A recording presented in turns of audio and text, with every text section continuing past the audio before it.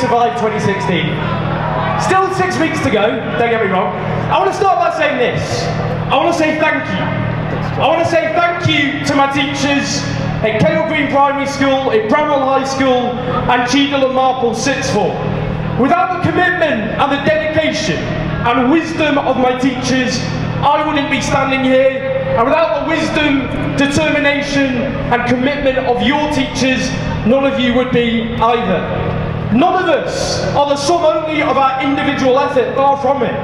We're the sum of the collective effort, not least, of our education system and the teachers who keep it running. Now, I went back to my old sixth form. Still not like the youngest person there, but when I went back to my old sixth form, I was told that they're going to be on a budget about a quarter of when I was there just over a decade ago. Cuts to teachers, cuts to courses, cuts to choice, activity. Friends, a society that fails to invest in education, that fails to invest in young people, fails to invest in its own future. It's vandalism. Vandalism on an industrial scale by this government. That's what it is. Now friends, now friends, we see what this government has done to young people. Because what we're seeing is the punishment of young people for a crisis they did not cause. When they scrapped the educational maintenance allowance, slamming the doors in the faces of young working class people. When they punish aspiration for a better future, aspiration for education again. What they're doing is waging war on young people because we believe Education is a social good. It's a public good. It's not a consumer good. And that's why our philosophy is the exact opposite to that law over there. And that's what we're fighting for. And above all else, we're fighting for a future where young people have good education, decent homes, and decent jobs with properly funded public services, not where young people face a worse lot in life than those who came before them. And that's what this is all about. Because this struggle here isn't one struggle in isolation. It's a struggle that is linked to every other, which is about building a society that puts people's aspirations and needs and ambitions ahead of profit for a tiny elite. Now I want to just say this as well, because it has been a long year. And it's so important we get this right that we link up these struggles and these movements not just in this country but internationally as well.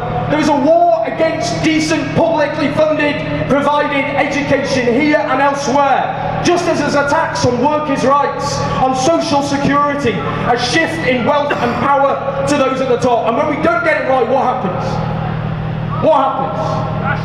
Fascism. Fascism. Fascism on the march all over again. Racists, fascists, the far right now sweeping across the Western world for the first time since the fall of Adolf Hitler. This is a dangerous moment. And unless we build a different society that answers people's social grievances, a vacuum will be filled, and it will be filled by the likes of the Donald Trumps, the Nigel Farages, the Marine Le Pens, and the Golden Dawns. But we won't let it happen. We won't let it happen. We won't allow the powerful to scapegoat Muslims and immigrants and unemployed people. Instead,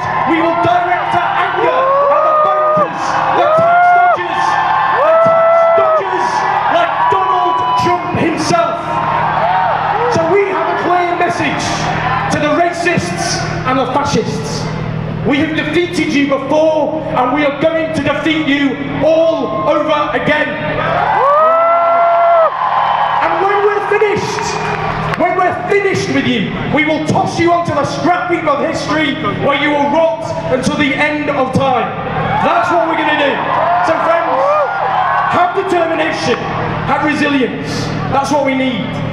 The way we got change every single time wasn't waiting for people over there, the people at the top to wake up and go, oh, I'm feeling generous. I'll give people some rights for a bit of a laugh. People had to organise with courage and determination and resilience.